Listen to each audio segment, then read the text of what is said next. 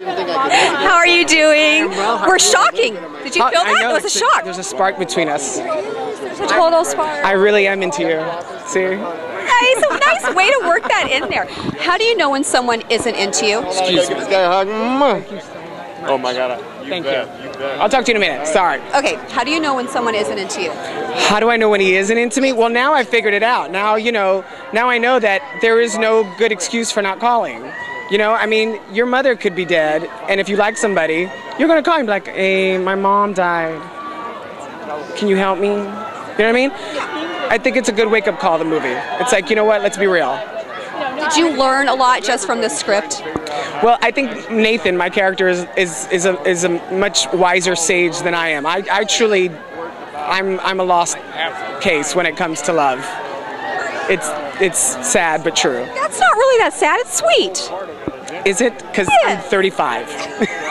Still sweet. It's still I don't know. I, you know, I gave up a while ago. I'm like, you know what? If he comes, if he shows up, great. It always happens when you're not expecting it, right? Yeah, I keep hearing that. Yeah, it does. I haven't ex- been expecting it for a while. What do you think is the worst device, technological device, that's affected dating? The computer. You know why? Because we're all in our little squares, our little houses, our little cars, and we never, we don't venture outside, and we're not taking risks. And on the computer, you you go and say and do things that you wouldn't ordinarily do, and that's and the person you're meeting online is not the real person. It's not the same person you would meet in in person. And is it ever okay to break up by anything other than being in person? no. My favorite Sex in the City episode was when she got broken, when Sarah Jessica Parker got broken up by a post-it note. A post-it note. Could that be the saddest thing in the world? That is the saddest Excuse thing. me, Larry. And disrespectful.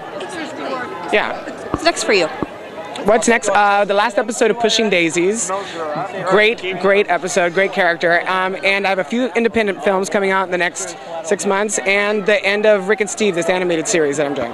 Wow. Yeah. Busy. Yeah. I'm trying. Excellent. Gotta Pay the bills. Yeah.